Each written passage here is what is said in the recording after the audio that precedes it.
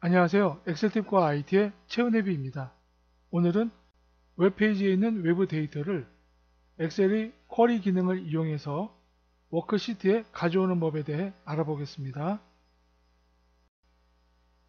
네이버 주소창에 국내 증시 정보 사이트를 입력합니다. 그리고 시세 입력하고 엔터를 칩니다.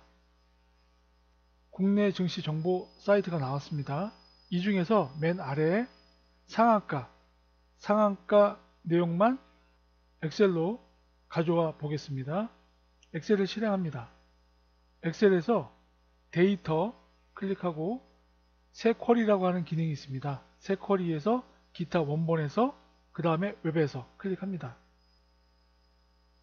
웹에서란 기능이 나타나는데요. 여기서 주소, 증시 정보 사이트의 주소를 복사합니다. 복사하고 다시 주소 창에다가 복사해서 붙여넣기 합니다. 확인 누르면 증시 정보를 가져옵니다. 여기서 표시 옵션 중에서 보고자 하는 상한가만 클릭합니다. 오른쪽에 테이블 형식, 즉 표 형식이죠.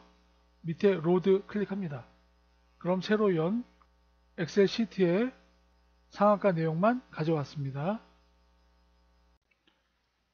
오늘 내용이 마음에 드셨다면 구독과 좋아요 부탁드리겠습니다.